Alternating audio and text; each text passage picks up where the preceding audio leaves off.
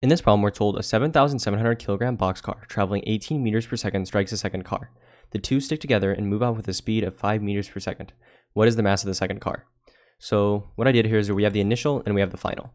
So what do we have going on initially, right? So we have this one car, 7,700 kilograms, traveling 18 meters per second, right? And then we have this other car that's going zero meters per second, right? So this is before it hits, right? So before the collision, this is what's going on.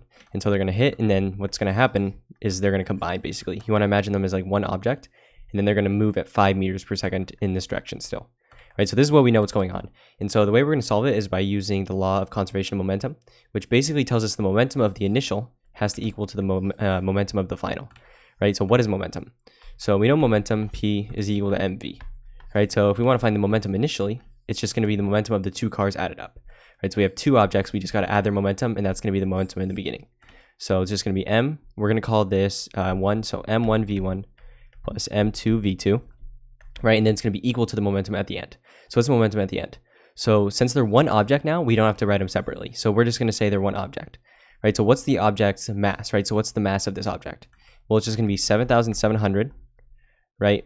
Or the mass of this one, right? Plus the mass of this one. I'm just going to write m1 plus m2 for now, but when we actually solve it, right?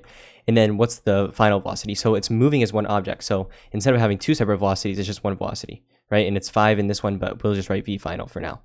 So since it's like this, we can just start plugging it in, right? So what's the mass of the first object? We're going to say this is the first one. So 7,700 multiplied by its speed, which is 18, plus the mass of this one, we don't know. But notice the velocity is zero. So when we multiply by zero, it's just still zero. So really the momentum of this, uh, the initial stage is just uh, this car, right? Because this one's zero, so it doesn't have momentum, right? Because velocity is zero, meaning momentum is zero. Plus M1, M2. So M1 is 7,700. M2 is just M, because we actually don't know what it is. So that's what we're solving for.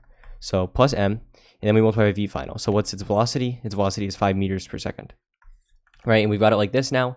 So all we have to do is solve. So do 18 times 7,700, right? If you go ahead and do that, you'll get 138,600 equals 7,700 plus m times 5.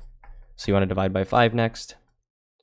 So when you divide by 5, you get 27,720 equals 7,700 plus m, and then minus 7,700, right? So, and then when you do that, you'll just get m equals, and then right, because we just have m left, I'm just moving it to the other side though, is 20,020. So 20,020, the units are going to be kilograms, right? Because we measure mass in kilograms. This was measured in kilograms. So m is 20 or 20,020 kilograms. So this box car is this is its mass. But yeah, so this is gonna be your answer, and hopefully you found this useful.